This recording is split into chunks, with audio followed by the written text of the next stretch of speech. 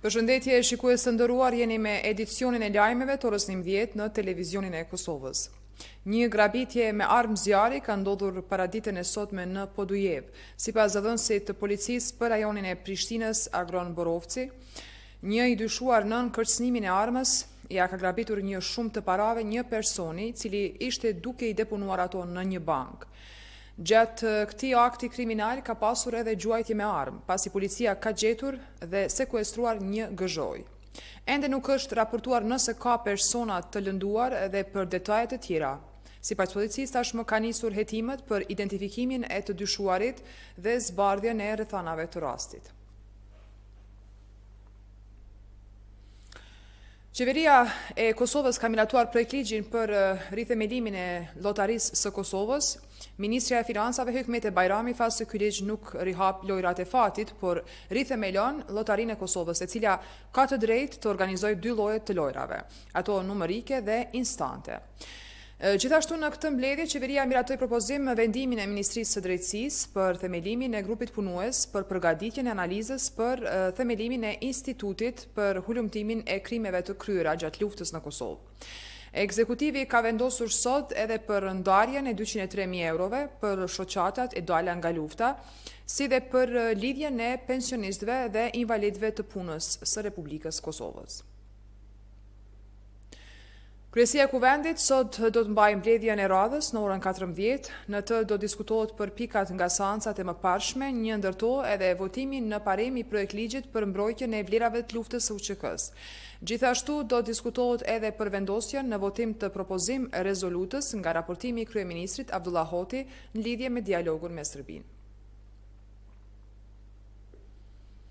Vazhdojmë me këtë edicion, Shpejtim Bulliqi nga Vetëvendosja në një të Komunës së Podujevës. Bulliqi ka bërë betimin dhe nënshkrimin e deklaratës për marrjen e detyrës së re.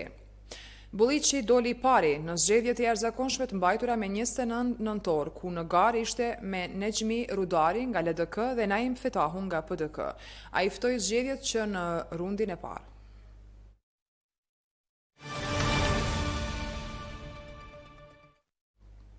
Ndërkohë shkalla e papunësisë në Kosovë si pasojë e pandemisë ka shkuar në 50%, nga rreth 30% sa ka qenë në muajin mars, kështu thotë kryetari i bashkimit të sindikatave të pavarura të Kosovës, Avni Ajdini.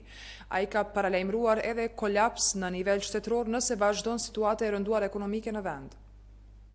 Thuajse pesëdhjetë përqindëshin, më njerë thuajse pesëdhjetë përqindëshin, për atë arsye po them se kjo na ka na ka damtu mjaft në zhvillim ekonomik edhe për atë arsye po them që janë mbyll disa biznese, janë mbyllur. Për atë e thash që ka ramje të papunësisë, megjithatë, kështu që papunësia është dikund 50-50, mundet edhe ma lartë me qenë, ma lartë, po mbasi nuk kemi ndonjë analizë të thukët, për shembull, nuk u zonë njeri të flasë edhe fjalë boshe, sa i përket çështjeve të këtilla. Nëse vazhdon kësisoj, ta them sinqerisht vaj halli për neve, në tërësi po flas, atëherë do të jetë një kolaps, për shembull, në nivel shtetëror. Ecim tutje me lajme të tjera, një marrëveshje politike për zgjedhjen e presidentit duket vështirë e arritshme. Rrethanave politike në vend, por edhe shoqëria civile vlerësojnë se vullneti i shprehur për zgjedhjen e presidentit të shtetit është për konsum publik, pasi vendi do e mos do të shkojë në zgjedhje të reja. Java që po vjen pritet që të mbledhë në një tryezë të përbashkët krerët e partive politike të vendit me qëllim të gjetjes së një dakordimi për zgjedhjen e presidentit të vendit.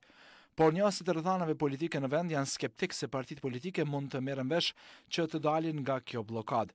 Analisti Ramush Tahiri vlerëson se në rrethanat aktuale një ujdi mes partive politike është e pamundur.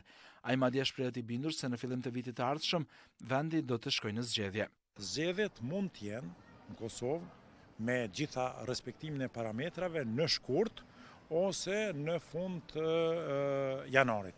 Por nuk mund të shtyhen ma vonë, nuk ka arsye të shtyhen ma vonë dhe për momentin konsideroj që arsye për zgjedhje është moszgjedhja e presidentit, por në të njëjtën kohë kemi Një qeveri e cila nuk i ka 61 votë, po i ka 59, dhe një qeveri e cila nuk po mund t'i miraton ligjet dhe vendimet e rëndësishme. Por ndryshe nga Tahiri mendon Arton Demhasaj nga organizata Çohu. Sipas tij, në Kosovë mund të ndodhë një rokadë politike, ku pjesë e qeverisë do të jetë edhe Kosovës.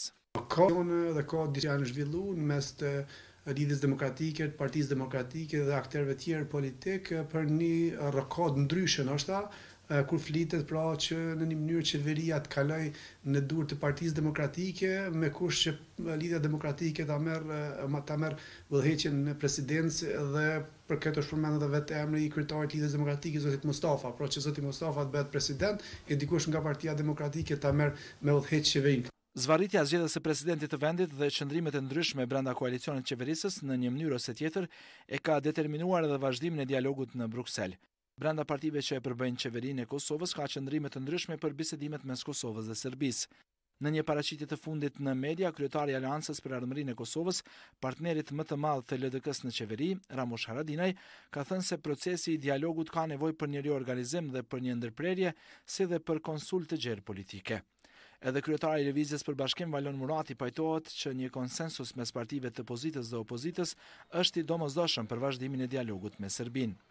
Dialogu i ka i ka rrëzu tash nja tri qeveri të Kosovës dhe Kosova Kosova e ka të pamundur një formë ose tjetrën të vazhdoj pa pas një konsenzus për, për dialogun. Ne do duhej të kishim një konsenzus për dialogun, do duhej të kishim një konsenzus pozitë dhe opozitë. Pa marrë parasysh se sa e fortë ose nuk është qeveria, ne do duhej që bashkarisht ta të shkonim dhe të kishim një platformë të përbashkët. Fatkeqësisht kjo nuk është nuk është situata.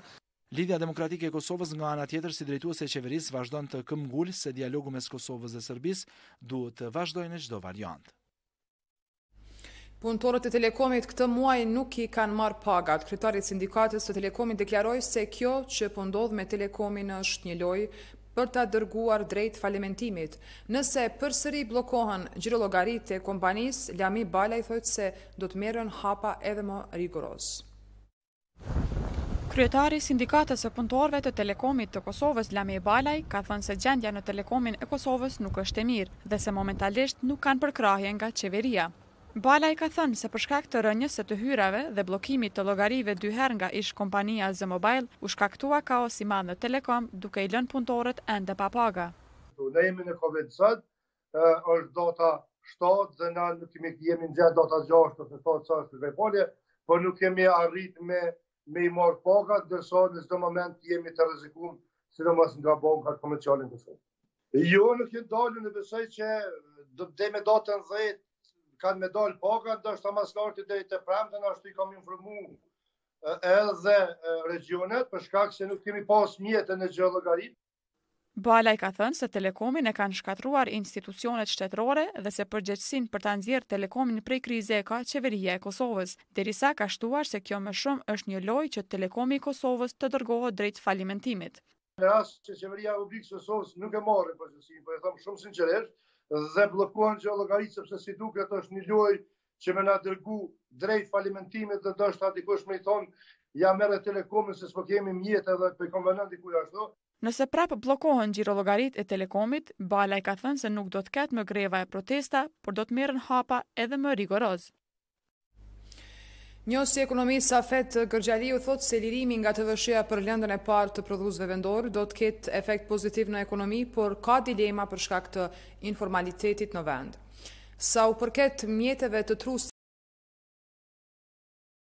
të qytetarëve. Lirimi nga TVSH-ja për lëndën e parë i paraparë në kuadër të ligjit për rimëkëmbje ekonomike, sipas njohësit të ekonomisë, Safet Gërxhaliu, do të jetë një ndihmesë për bizneset private.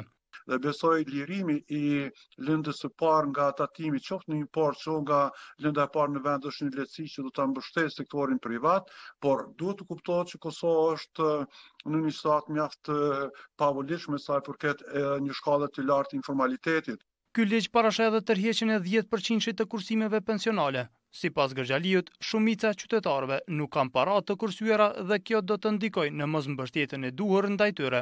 Mundësia e tërheqjes të dhjetë përqind të kursimeve nga trusti pensional do të ndikojë në rritjen e kërkesave agregate, mirëpo të njëjtën kohë duhet të kuptohet që duke pasur parasysh faktin që Kosova është një shoqëri e mvarur nga importi, kam dro që do të gjenerohet inflacion, sepse do të kemi importe më tepër se deri më tani. Sipas një analize të bërë, llogaritet që shuma totale që do të mund të tërhiqet nga kjo pako është dyqind e trembëdhjetë milionë euro.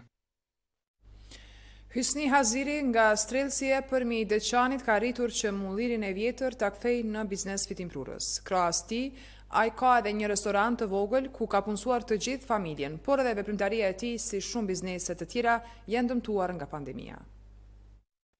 Mulliri i Hajrizajve në Strellc të Epërm të Deçanit është shumë i vjetër. Pozita e volitshme dhe sasia e mjaftueshme e ujit bëjnë që prodhimi të jetë natyral dhe shumë cilësor. Hysni Hajrizi ndjehet i lumtur që traditën e të parëve po e vazhdon edhe sot e kësaj dite. Mulliri është trashëgimi i. Tani domethonë, unë e di babgjyshi, tani edhe baba,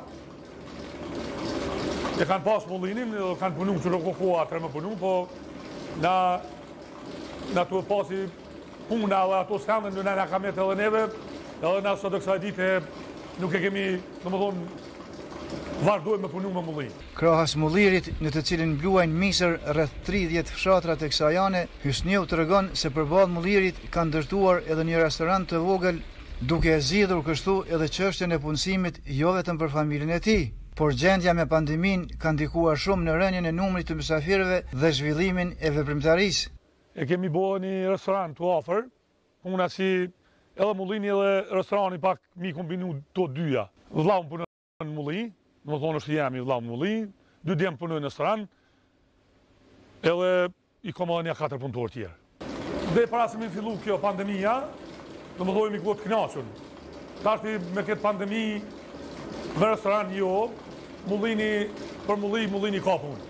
Mullini ka punë, vinë me blu, janë dikun, janë dikun tridhjetë e kusur fshatna si vinë gati krejt Rrafshi Dukagjinit, dhe ma largzi vinë me blu këtu na këtu. Plus e marrin, e blejnë edhe millin e blejnë këtu. E për ekspertët e agroturizmit përkushtimi i familjes Hajrizi nga Strelci po shihet si shembull i mirë i gërshetimit të biznesit të tyre në funksion të agroturizmit. Shumë pronarë me investimet e tyre janë duke ndërtue infrastrukturën Shumë të mirë dhe është një shembull i mirë në drejtimin e zhvillimit të resurseve të veta, domethënë ka potenciale shumë të mira agroturistike për zhvillimin e turizmit. Përndryshe, në Komunën e Deçanit ekzistojnë kushte shumë të mira për zhvillimin e agroturizmit falë potencialeve trashëgimore dhe natyrore që ka ky regjion. Të nderuar teleshikues, ishte kjo e tëra për këtë edicion të lajmeve. Ne ju falenderojmë për vëmendjen tuaj, mirupafshim.